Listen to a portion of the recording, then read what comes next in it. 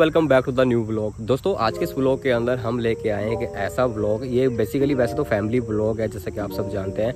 हम इस चैनल के ऊपर फैमिली ब्लॉग डालते हैं, कहीं पे ट्रैवल करने का या फिर किसी चीज़ की अनबॉक्सिंग करते हैं। आज की इस वीडियो के अंदर हम ऐसा ब्लॉग शूट करने वाले हैं। देखो, एक फैमिली के अंदर कुछ चीज़ें ऐसी होती हैं जो हमारे ज़रूरत की होती हैं एंड उनको लेना हमारे लिए कंपलसरी हो जाता है। जैसे कि बात करें टू व्हीलर की, फोर व्हीलर की, बाकी डिपेंड करता है हमारे बजट के ऊपर, हमारी हैसियत के ऊपर कि हम क्या अफोर्ड कर सकते हैं, टू व्हीलर या फिर फोर व्हीलर। तो आज की इस वीडियो के अंदर, आज के इस ब्लॉग के अंदर हम बात करने वाले हैं टू व्हीलर को। अगर आपने कोई टू व्हीलर परचेज़ करना है, चाहे वो न्यू टू व्हीलर हो या फिर सेकेंड हैंड टू व्हीलर हो दोस्तों तो हम करने वाले हैं सेकेंड हैंड टू व्हीलर को ख़रीदने से पहले आप लोगों को किन किन बातों का ध्यान रखना पड़ता है। एंड हमने भी जो है अपनी ज़रूरत के हिसाब से second hand two wheeler purchase किया है। पहले भी हमारे पास टू व्हीलर था तो हमने वो हमारा ख़राब हो गया था तो उसके बाद उसको सेल आउट किया।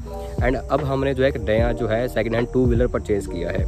बेसिकली आप इसको एक्टिवा भी कह सकते हो या फिर इसको स्कूटी कह सकते हो, ठीक है? आपकी बाइक भी हो सकती है, कुछ भी हो सकता है। तो हमने परचेज़ करी है एक स्कूटी टाइप है, ठीक है? हीरो कंपनी की है प्लेजर प्लस तो दोस्तों, उसी के बारे में आप लोगों को इस ब्लॉग के अंदर मैं बताने वाला हूँ। अगर आप भी कभी ऐसा सोच रहे हैं कि आपको कोई सेकेंड हैंड एक्टिवा या फिर स्कूटी परचेज़ करनी है या फिर बाइक आपने परचेज़ करनी है तो किन किन बातों का आपको ध्यान रखना पड़ता है? एंड वो लुक में कैसी होनी चाहिए? उसमें क्या कैसी कंडीशन होनी चाहिए? तो चलिए गाइस सबसे पहले मैं आप लोगों को वो दिखा देता हूँ कौन सा वो एक्टिवा है या फिर स्कूटी है एंड क्या उसकी स्पेसिफिकेशन वगैरह है। तो सबसे पहले आप जाओ, उसका थोड़ा सा ओवरव्यू देख लीजिए एंड उसके बारे में फिर आपको मैं डिस्कस करता हूँ।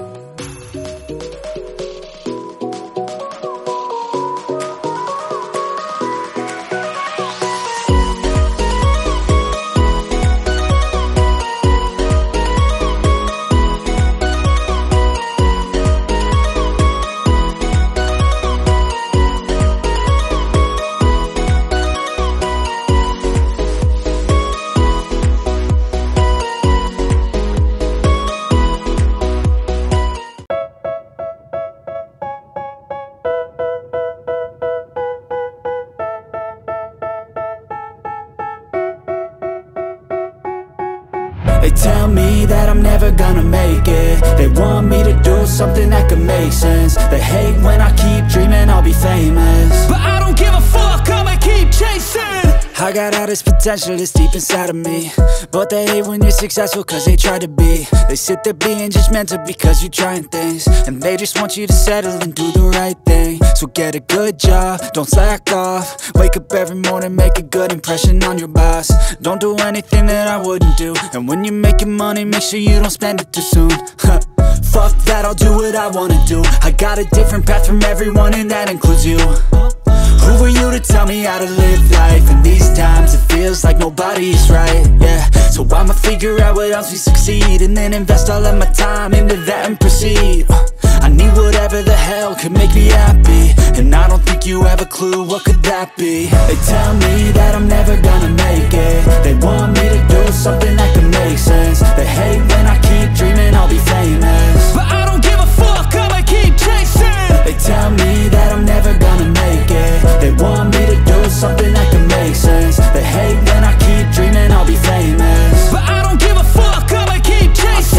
could be special if I get rid of the devils. They think that I am a rebel, I think they want me to settle. There's nobody on my level, they think that work is too stressful. I think that work is essential, the grind is all in your mental. And I don't think you understand what I'll go through. Just to be in control of my life soon. All the negativity, man, I'm immune. I don't really need a mask with all I've been through been making changes for the ages. Five, ten year plans are contagious. I attack that shit, I'm tenacious. And if you ain't, get the fuck out of my way then Got one life, I won't regret it I will fight until I get it I'll look back one day from heaven And say damn I learned some lessons And say damn I had no questions I had fun in every second And the journey was a blessing, yeah They tell me that I'm never gonna make it They want me to और बाकी आपको देखना होता है कि tyre की condition कैसी है अभी आप यहाँ पे देख सकते हैं टायर जो है 80-90 परसेंट पड़ा हुआ है अभी टायर आप देख सकते हो और आप पीछे की तरफ़ यहाँ पे चलोगे तो यहाँ पे थोड़ा सा सामान रखने के लिए डेस्क दे रखा है दोनों साइड पे आप सामान रख सकते हो यहाँ पे तो ये इसकी सीट है, ठीक है? सीट काफ़ी अच्छी है, कुशनिंग वगैरह काफ़ी अच्छी है। इसके अंदर आपको जो है कुछ थोड़ा सा बूट स्पेस मिल जाता है इस एरिया के अंदर, अगर आप इसको उठाओगे भी सीट को, मैं आपको दिखा दूँगा। तो बूट स्पेस आपको देखने को मिल जाता है। बाकी दोस्तों आपको चेक करना होता है कि आपकी यहाँ पे जो टेल लाइट वगैरह लगी हुई है, ये कहीं से ब्रेक तो नहीं है, ठीक है? और टायर वगैरह, पिछला टायर भी आप यहाँ पे देख सकते हैं एट्टी टू नाइन्टी परसेंट अभी बचा हुआ है, ठीक है? नया ही टायर डला हुआ है इसके अंदर। और बाकी दोस्तों आपको चेक करना होता है जो आपका जो ये सिलेंसर होता है, यहाँ पे आपको देखने को मिल जाएगा जो मेन चीज़ होती है, अगर आप यहाँ पर फोकस करोगे तो यहाँ पर सिलेंसर में आपको जो है कालापन नज़र आएगा। अगर गाड़ी ज़्यादा चली होगी तो यहाँ पे जो सिलेंसर है वो काला हो जाता है, अंदर से यानी कि धुआँ मारता है। तो यहाँ पे कालापन आ जाता है। और कालापन कई तरह का होता है। यहाँ पे अगर थोड़ा सा तेल भी उठाती होगी गाड़ी, कोई भी एक्टिवा या बाइक होगी तो ये कालेपन में आएगा और यहाँ पे हाथ पे अच्छे से कालापन लग जाएगा। काली, कालस हो जाएगी काफ़ी। मतलब उससे पता चल जाता है कि गाड़ी कुछ ज़्यादा चली, कम चली। अब यहाँ पे आप देख सकते हैं, इसके अंदर कोई भी कालसपन नहीं है। बिल्कुल साफ़ पड़ी हुई है, ठीक है? बाकी ये चीज़ें होती हैं। और दोस्तों, यहाँ पर ये असेसरी आपको अलग से लेनी पड़ती है आप नई लो या पुरानी लो। तो कुछ केस में आपको लगी हुई मिल जाती है कुछ केस में नहीं मिलती है ठीक है? बाकी बस आप लोगों को चारों तरफ़ से गाड़ी की कंडीशंस देखनी होती है। इस, इस गाड़ी की कंडीशन इस ओके है बिल्कुल ओके पड़ेगी क्योंकि बाईस मॉडल है 2022 तो लगभग एक ही साल हुआ है इस गाड़ी को अभी ठीक है निकले हुए एजेंसी से। और मैंने इसको जो है काफ़ी अच्छे प्राइस में जो है मैंने इसको परचेज़ किया है। कहीं से टूटी फूटी नहीं है स्क्रैच है हल्का सा गिरी हुई है तो मैंने स्क्रैच में आप लोगों को दिखा देता हूँ। सबसे पहले लेफ़्ट में तो कोई भी स्क्रैच आपको देखने को नहीं मिलेगा बिल्कुल ओके मिलेगी यहाँ पे आप देख सकते हैं ठीक है? साइड स्टैंड वगैरह सब कुछ ए टू जेड आपको लगा हुआ मिल जाएगा पहले से। और ये फ्रंट पे आपको देखने को मिल जाएगी, जो एसेसरी है अब मैं आप लोगों को स्क्रैच दिखाता तो यहाँ पे गिरी हुई देख रहे हैं देख सकते हैं। तो ये स्क्रैच है माइनर स्क्रैच होते हैं, चल जाते हैं, कोई इशू नहीं है। और साइड में अगर आप स्क्रैच देखोगे तो यहाँ पे आपको स्क्रैच देखने को मिल जाएगा। यहाँ पे आप देख सकते हैं।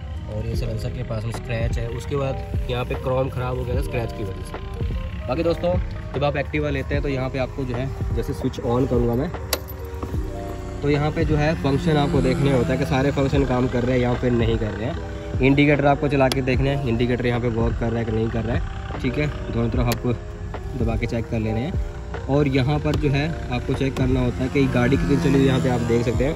पंद्रह हज़ार समथिंग चली हुई गाड़ी, जब मैंने इसको लिया था तो चौदह हज़ार समथिंग ये चली हुई थी। तो चौदह हज़ार के हिसाब से आपको चेक करना कि जितनी किलोमीटर गाड़ी चली हुई है एक्टिवा चली हुई है तो उस हिसाब से उसकी कंडीशन कैसी है। अब चौदह हज़ार के हिसाब से जो उसकी कंडीशन की बात करें तो कंडीशन बिल्कुल ओके है, यहाँ पे आप देख सकते हो, ठीक है? बिल्कुल मतलब न्यू कंडीशन की तरह ये लुक दे रही है। बट यहाँ पे थोड़ा सा मैं आपको बताना चाहूँगा, अगर आप हीरो की तरफ़ जा रहे हो तो हीरो में थोड़ी सी जो मतलब क्वालिटी है, जो इसका मटेरियल है, वो थोड़ा सा हल्का है एज़ कंपेयर होंडा एक्टिवा या फिर टी वी की बात करो तो उनसे इसका जो सामान है, वो थोड़ा सा हल्का है। यहाँ पे आप देख सकते हैं, हल्का है। तो थोड़ा सा यहाँ पे मतलब हल्की है लाइट वेट है एक्टिवा के मुकाबले। बाकी दोस्तों, यहाँ पे जो गाड़ी है पिकअप बहुत अच्छी है इसकी। बहुत ही अच्छा परफॉर्म कर रही है, ठीक है? पिकअप वगैरह अच्छी है साउंड वगैरह अच्छी है, कोई इशू नहीं आया हमें। तो चलिए एक बार इसको स्टार्ट करके देख लेते हैं और इसकी साउंड वगैरह चेक कर लेते हैं कैसे इसकी साउंड है। तो यहाँ पे आप देख सकते हो स्टैंड का एक सिंबल बन के आ रहा है। जब तक हम जो है स्टैंड नहीं लगाएँगे तो ये गाड़ी स्टार्ट नहीं होएगी। अगर आप अभी चेक करोगे सेल्फ मारने की कोशिश करोगे ब्रेक दबा के तो सेल्फ नहीं लेगी। तो जब तक ये सिंबल यहाँ से नहीं हटेगा स्टैंड हमें यहाँ से हटा दिया मैंने तो अब सिंबल हट चुका है। अब मैं ब्रेक थोड़े अप्लाई करूँगा और यहाँ पर सेल्फ लूँगा तो गाड़ी हमारी स्टार्ट हो जाएगी। गाड़ी की साउंड वगैरह आप सुन सकते हो, ज़्यादा साउंड नहीं है। अगर जूपिटर की बात करें तो जूपिटर में साउंड ज़्यादा आती है थोड़ी सी, एंड होंडा एक्टिवा और हीरो में साउंड ज़्यादा नहीं आती, नॉर्मल साउंड होती है। यहाँ पे आप सिलेंसर की साउंड। उसके बाद आपको गाड़ी की राइड देखनी होती है कि कैसी राइड है मतलब गाड़ी एक साइड तो नहीं, कहीं भाग रही है। जैसे एक्सीडेंटल अगर स्कूटर या एक्टिवा होगी तो वो एक साइड की तरफ़ ज़्यादा टर्न होगी। बाकी इसका एक्सपीरियंस कैसा है, वो मैं आप लोगों को बाद में चला के कुछ मतलब महीनों बाद इसको यूज़ करके आपको एक रिव्यू दे देंगे इसके बारे में, अगर आप चाहोगे तो ठीक है? तो चलिए थोड़ा सा इसको मैं टर्न लेता हूँ और इसको स्टार्ट मतलब स्टार्ट मैंने कर लिया, थोड़ा सा चलते हैं इसको लेके।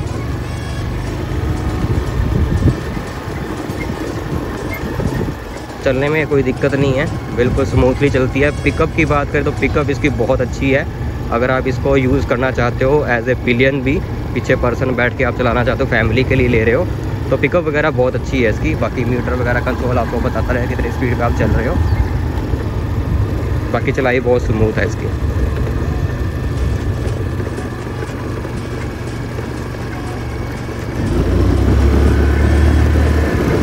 अगर आप थोड़ा सा थ्रोटल दे रहे हो तो गाड़ी एकदम बूस्ट करती है। मतलब काफ़ी अच्छी चलाई मुझे लगती है इस गाड़ी की।